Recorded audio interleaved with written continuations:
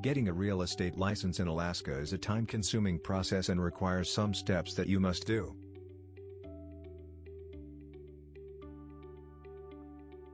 You must be at least 19 years or older to apply for a real estate license in Alaska.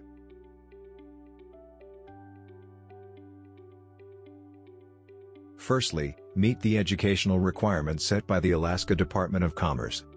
You have to complete 40 hours of approved pre-licensing real estate class. Pass the state certified exam.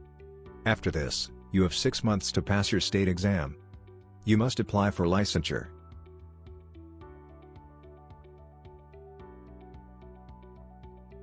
Once you pass your Alaska real estate exam, you should just wait for your certification of licensure.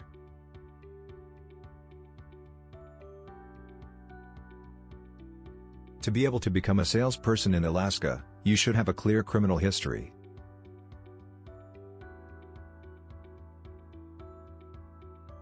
Real estate exams in Alaska are electronic. The fee for the exam is $100.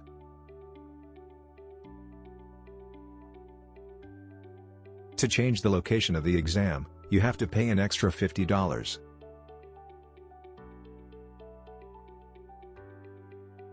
To become a salesperson in Alaska, you should pay a $355 fee.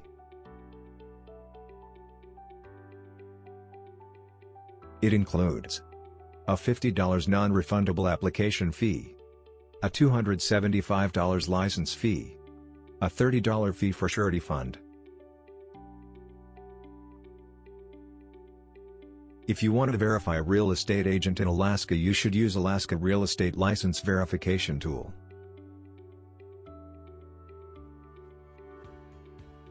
To use the Alaska Real Estate License Verification web tool, you must have the salesperson's name, board, license type,